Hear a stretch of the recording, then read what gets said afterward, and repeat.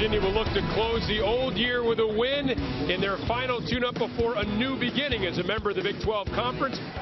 DiNunno had no hesitation about putting that three up. And here's Henderson off the feed from State. And it's Gary Browne who comes up with it for West Virginia. And Terry Henderson will finish on the other end. Nice feed from Browne. And there's Henderson with a three-pointer. It's no good.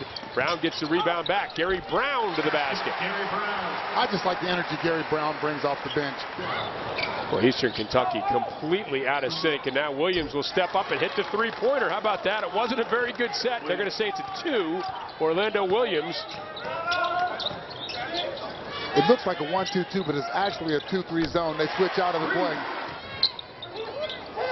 Harris tries to skip over the top. It goes to Rutledge. He powers up with the left hand, and it is followed by Miles.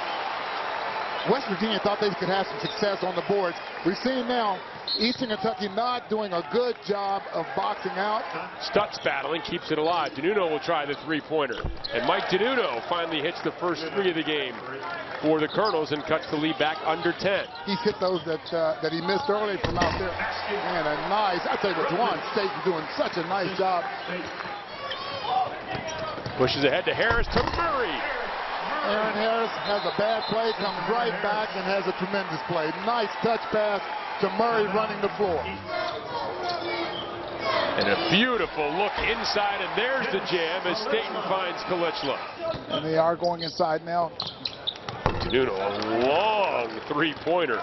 With a strip inside of the nice feed to Muff, and back the other way comes Browne, and Staten is able to hit.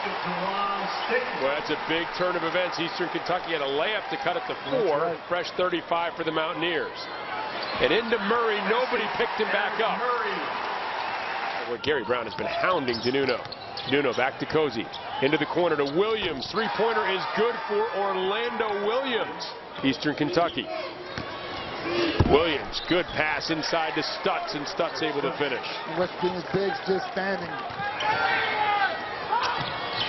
Into the corner, Parsons will try the three, and Ryan Parsons Right on cue. will tie it up.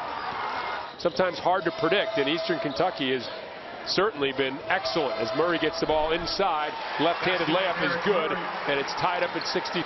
He will pull it from anywhere. And he pulls up from three and hits one as Aaric Murray did not step out that time. Well short. Rebounded for West Virginia.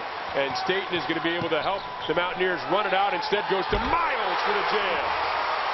Cosey will kick one more three-pointer on the way for Williams. It's no good. And the Mountaineers had their hands full, but come away with a 74 to 67 win over Eastern Kentucky.